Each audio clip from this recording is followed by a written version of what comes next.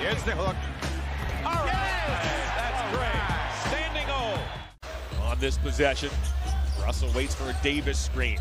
Russell toward the basket looking for Davis. Davis with those long arms makes the catch and lays it in. The weight room has done his mindset wonders. Attacking, attacking, attacking. Three for three. Mobley was in attack mode. When you think about it, both both of these teams are offensive, are very strong on the offensive end. Now Davis.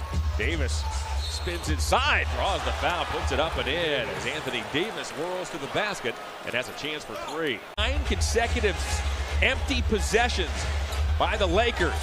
That time, Davis went right through Mitchell.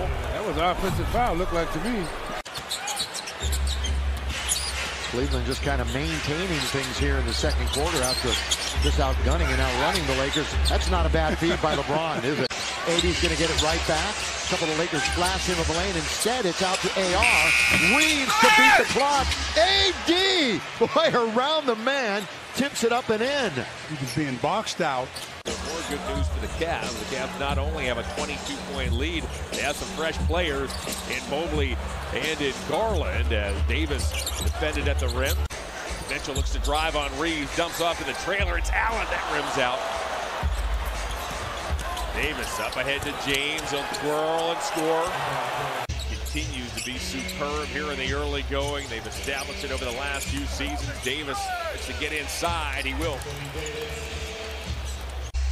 You harken back to Monday night when the Cavs were down 13 late in the third quarter. Oh boy, as Merrill gets called for a foul, Davis banks it in and was a in his professional and collegiate career. Dalton Knecht has checked in. He'll find Davis. Cavs got the signals crossed.